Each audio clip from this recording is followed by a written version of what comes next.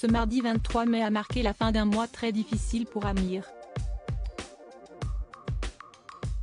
Absent des réseaux sociaux durant tout ce temps, ayant même supprimé l'intégralité de ses publications avant celle concernant l'annonce du décès de sa maman, le chanteur révélé par The Voice et l'Eurovision a finalement repris la parole dans un nouveau post dans lequel il a tenu à s'adresser à ses fans. Expliquant sortir d'un triste mois, un mois de réflexion, de doute et de larmes, l'artiste a ressenti le besoin de s'éloigner de la vie publique et médiatique pour s'acclimater à ce nouveau quotidien sans sa mère, qualifié de réalité du manque par le chanteur.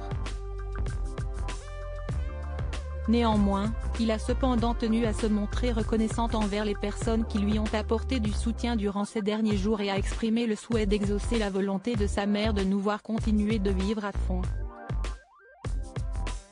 Pour conclure son message, le père de Michael Eor a remercié ses followers pour l'avoir soutenu et avoir respecté la distance, qu'il a choisi de prendre, avant de leur dire à très bientôt.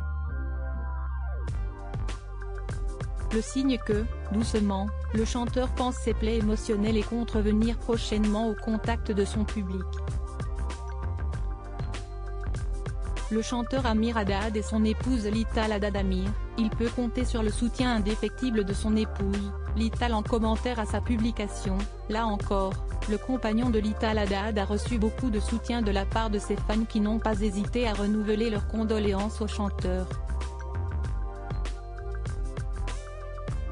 Un soutien qui doit être source de réconfort pour celui qui s'illustre également au théâtre et dans la comédie. Amir peut également évidemment compter sur le soutien de sa femme, à ses côtés depuis de nombreuses années. En juin 2022, il avait tenu à lui rendre hommage et à la remercier pour toutes ces années où elle a été à ses côtés dans l'ombre, et avait alors interprété avec elle son titre Rétine lors de son passage dans une émission d'Europe 1.